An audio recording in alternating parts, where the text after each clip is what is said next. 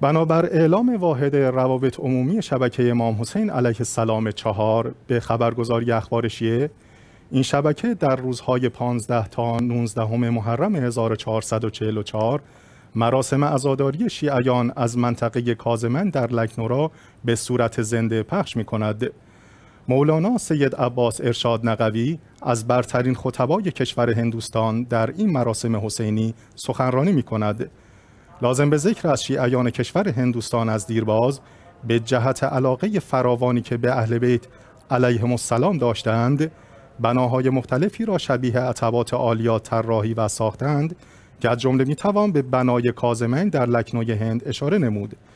علاقمندان می توانند این برنامه زنده این برنامه زنده را از بسترهای اینترنتی, اینترنتی شبکه امام حسین علیه السلام چهار به زبان اردو مشاهده کنند.